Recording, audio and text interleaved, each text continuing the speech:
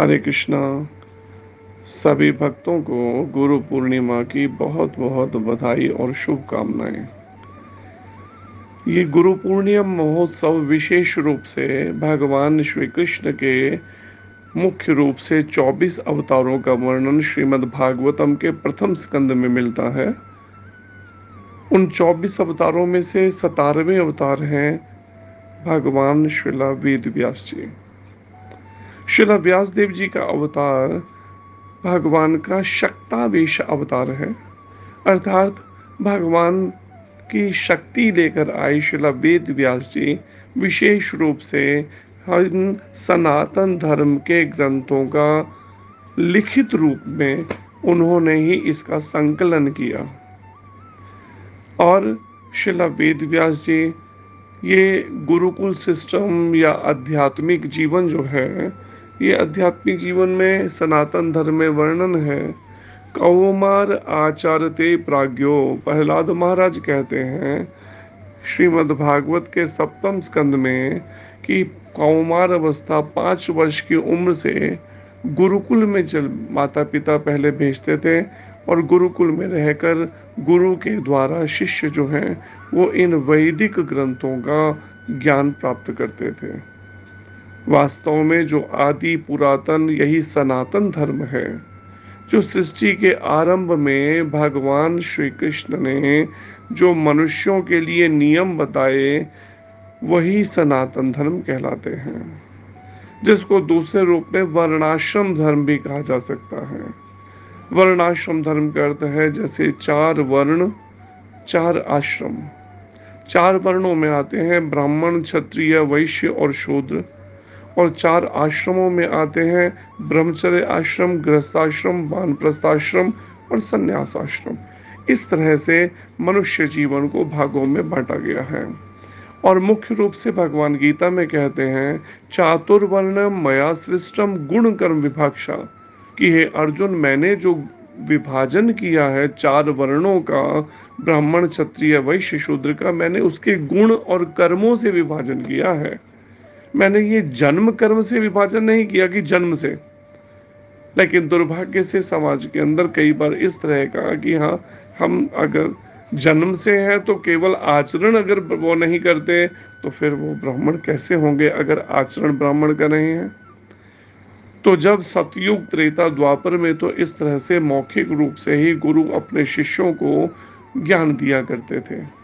लेकिन इस कलयुग के आरंभ होने से पूर्व शिला वेद व्यास जी ने दिव्य दृष्टि से अपनी देखा कि कलयुग के लोगों की इतनी अधिक स्मरण शक्ति नहीं होगी कि वो ये सब वैदिक ग्रंथों को स्मरण रख सकें, कंठस्थ कर सकें। इसलिए उन्होंने इन्हें राइटिंग में चार वेद, फिर वेदांतों को और आसान करने के लिए वेदांत सूत्र लिखे। देखा, अब भी कलयुग के लोगों के लिए कठिन है तो उन्होंने 108 उपनिषद दिए। देखा, अभी भी कठिन है कलयुग के जीवों के लिए, इन्हें समझ पाना तो उन्होंने और आसान करने के लिए 18 पुराण दिए। महाभारत भी उन्होंने दिया लिखित रूप में, जिसका वन पर्व का 25वें से बयालीसवां अध्याय श्रीमद् भगवद गीता, जो भगवान श्री कृष्ण के मुखारविंद से निकला दिव्य उपदेश, दिव्य ज्ञान है। और फिर अठारह पुराणों में तीन विभाग करके छह पुराण लिखे। सतोगुणी लोगों के लिए, छह पुराण रखे, रजोगुणी लोगों के लिए, छह पुराण तमोगुणी लोगों के लिए। क्योंकि समाज में सब तरह के लोग हैं तो वो धीरे धीरे एक एक जैसे बच्चा प्राइमरी से सेकेंडरी सेकेंडरी से हायर सेकेंडरी फिर ग्रेजुएशन फिर पीएचडी करता है। ऐसे ही उन्होंने जो तमोगुण में पड़े लोग थे तमोगुण में अर्थात जो मांसाहार मदिरापान बुरे कर्म करना बारह बारह बजे तक सोना, इस तरह के तमोगुणी लोगों को उठाने कर पहले रजोगुण और फिर रजोगुण से सतोगुण तक लाया जा सके। क्योंकि इस सृष्टि को बनाने का मकसद ही भगवान का है कि वो जीवात्माएँ जो असंख्य जीव भगवान से बिछुड़ कर स्वतंत्र रहकर सुख भोगना जिन जीवों ने चाहा, उन्हीं को ही ऐसे मृत्यु लोग और इस भौतिक जगत में भेजा गया है। तो वो इन वैदिक ग्रंथों का सहाय, सहायता लेकर वो आध्यात्मिक जीवन में उन्नति कर सके और वापस भगवान के पास वैकुंठ लोकों में लौट सके। इस संसार को कहते हैं कुंठ जगत, जो कलेशों से भरा हुआ है और भगवान के धाम को कहते हैं वही कुंठ जगत, जो वही का अर्थ होता है रहित कुंठ का अर्थ होता है कलेश, जो कलेशों से रहित जगत है। ऐसे में ये गुरु पूर्णिमा का जो उत्सव है, ये श्रीला वेद व्यास जी जो है, जिन्होंने सब ये वैदिक ग्रंथ प्रदान किए, एक तरह से जो गुरु हैं, वो भगवान वेद व्यास जी के ही ज्ञान का जो आगे प्रचार प्रसार कर रहे हैं, उनका प्रतिनिधित्व कर रहे हैं, उन्हीं को ही उसी आधार पर ये गुरु पूर्णिमा या व्यास पूर्णिमा शब्द कहा गया है। ऐसे में जो भगवान कृष्ण के, भगवान के अवतार हैं, वेद व्यास जी, उसी वैदिक ज्ञान को उसी सनातन धर्म के ज्ञान को आगे समाज में प्रचार प्रसार हो तो लोग धर्म, अर्थ, काम और मोक्ष अंत में जीवन के मोक्ष प्राप्त कर सके। लेकिन कैसा जीवन जिए? धर्म का विचार करते हुए। फिर बीच में रखा अर्थ कहते हैं धन कमाना, काम कहते हैं इंद्रियों का तर्पण करना। ठीक है, धन धन भी कमाना है, इंद्रियों का तर्पण भी करना है जीवन में, लेकिन कैसे पहले धर्म का विचार करते और आखिर में मोक्ष मिल सके? तो इस तरह से भगवान से चल रही चार ऐसी गुरु परंपराएँ हैं, जिनका वर्णन पद्म पुराण में भगवान वेद व्यास जी ने किया। उनमें से एक है श्री ब्रह्म संप्रदाय, या जो श्री ब्रह्म मधव गौड़ीय संप्रदाय के नाम से भी जानी जाती है। तो इस ब्रह्म संप्रदाय में भगवान कृष्ण ने सबसे पहले ब्रह्मा जी को ज्ञान दिया, ब्रह्मा जी ने नारद जी को, नारद जी ने भगवान वेद व्यास जी को, भगवान वेद व्यास जी ने श्री मध्वाचार्य जी को ज्ञान दिया, जो दक्षिण भारत में कर्नाटक में हुए। और उन मध्वाचार्य जी से ये परंपरा चलते हुए बाईसवें गुरु के रूप में भगवान कृष्ण भक्त के रूप में आए। 536 साल पहले इस कलयुग में वेस्ट बंगाल में नवदीप मायापुर में श्री कृष्ण चैतन्य महाप्रभु के रूप में राधा जी का भाव लेके भगवान कृष्ण प्रकट हुए। अपनी ही भक्ति कलयुग के जीवों को बताने के लिए, सिखाने के लिए। और उसी परंपरा में बत्तीसवें गुरु प्रभुपाद जी और अब तैंतीसवीं आचार्य परंपरा चल रही है, जिसमें अब तैंतीसवें आचार्य जो हैं, इस पूरे विश्व भर में जैसे मार्गदर्शन कर रहे हैं। जिनमें से एक शिला नव योगेंद्र गोस्वामी महाराज भी हैं, जो जम्मू कश्मीर के राजा, जो राज पुरोहित घराने से हैं और लगभग 45 साल से श्रील प्रभुपाद जी के मार्गदर्शन में आज्ञाओं में वो प्रचार प्रसार कर रहे हैं। ऐसी ही तीन और परंपराएँ हैं, जिनमें से एक है कुमार संप्रदाय, जिसमें से भगवान ने सबसे पहले ज्ञान ब्रह्मा जी के चार मानस पुत्र सनक, सनंदन, सनातन और सनत कुमारों को दिया, जिसके प्रमुख आचार्य हैं श्री निम्बारकाचार्य जी। जैसे ब्रह्म संप्रदाय के प्रमुख आचार्य हैं श्री मध्वाचार्य जी। फिर तीसरी है श्री संप्रदाय जिसमें भगवान ने सबसे पहले ज्ञान लक्ष्मी जी को दिया और जिसके प्रमुख आचार्य हैं श्री रामानुजाचार्य जी। और चौथी प्रमाणिक संप्रदाय है श्री रुद्र संप्रदाय जिसमें भगवान ने सबसे पहले ज्ञान शिव जी को दिया और उसके मुख्य आचार्य हैं श्री विष्णु स्वामी जी।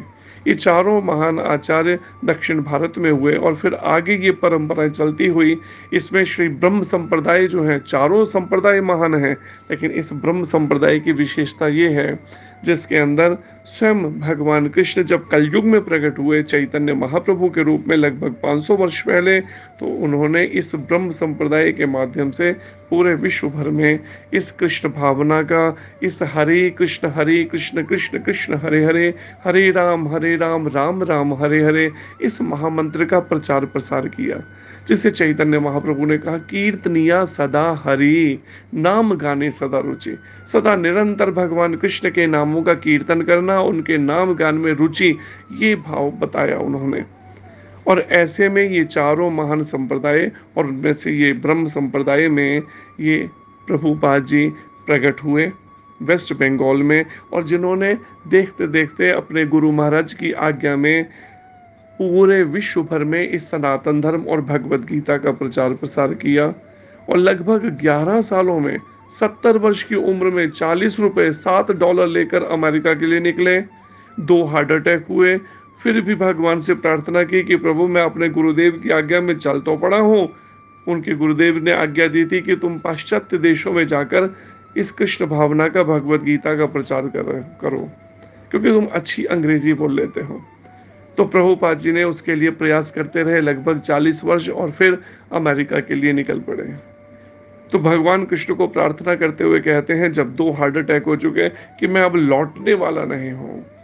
मैं नहीं जानता मुझसे चाहते क्या है। और परिणाम में, स्वप्न में उन्हें, उनको भगवान कृष्ण का दर्शन हुआ, और उसके बाद में शेष ग्यारह सालों में कभी तीसरा हार्ट अटैक नहीं हुआ। और जहाँ केवल सात डॉलर लगभग चालीस रुपए पास में है, लेकिन उन्होंने इस ग्यारह वर्षों के अंदर चौदह बार पूरे विश्व का लगभग भ्रमण करके ये विश्वव्यापी आंदोलन खड़ा कर दिया।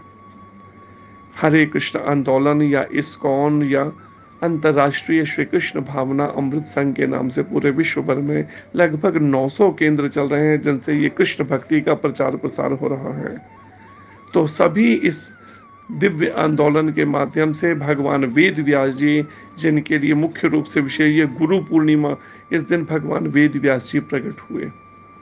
और उन्होंने ये दिव्य उपदेश जो है, कलयुग के जीवों के लिए कृपा करके दिया इन वैदिक ग्रंथों के माध्यम से, जिसका सार रूप में है श्रीमद् भगवद गीता। और उनका आखिरी लेखन है श्रीमद् भागवत महापुराण, और उसके बाद उन्होंने कोई और ग्रंथ का लेखन नहीं किया। भगवत गीता, जिसमें जो भगवान श्री कृष्ण की वाणी है, और श्रीमद् भागवतम, जिसमें भगवान कृष्ण, भगवान के अवतारों, भगवान के भक्तों का वर्णन है। तो इनके दिव्य ग्रंथों को, जो प्रभुपाद जी के द्वारा संकलित हैं, और आगे उन्होंने उसके अनुवाद किए, इसके माध्यम से हम लाभ उठा सकते हैं, और अपने मनुष्य जीवन के उद्देश्य को, श्री कृष्ण प्रेम को प्राप्त कर सकते हैं। तो इस विशेष अवसर पर श्री गुरु पूर्णिमा या भगवान वेद व्यास जी के इस प्रागट्य के दिव्य उत्सव पर हमें उनके चरणों में बार बार प्रार्थना करनी चाहिए कि हे शिला वेद व्यास जी, आप कृपा करें इस वैदिक ग्रंथ के, इस वैदिक ज्ञान को हम भी अपने हृदय में धारण करके उसके अनुसार अपना जीवन ढाल सकें और जीवन के अंत समय में जीवन की जो परम सिद्धि है, श्री कृष्ण प्रेम को प्राप्त कर सकें। धन्यवाद। हरे कृष्णा हरे कृष्णा, कृष्ण कृष्ण, हरे हरे हरे राम हरे राम राम राम, हरे हरे। ये इस कलयुग का तारक मंत्र है। पदम इसका वर्णन स्वयं भगवान वेद व्यासी ने कली संतरण उपनिषद में किया। लाखों भगवान के नाम हैं, सभी दिव्य हैं, लेकिन कलयुग के जीवों का उद्धार इस सोलह शब्दों के हरे कृष्ण महामंत्र का जब कीर्तन करने से कोई भी अपना उद्धार कर सकता है। तो ये उठते, बैठते, चलते फिरते गुरु महाराज कहते हैं, जैसे कपड़ों की धुलाई साबुन पानी से होती है, ऐसे ही इस हरे कृष्ण मंत्र का जब कीर्तन करने से हमारा महिला मन शुद्ध होगा। जिससे हमारा मन जब शुद्ध होगा तो ही हम भगवान के चरणों में उनकी नित्य सेवा में लौट सकेंगे। हरे कृष्णा, धन्यवाद।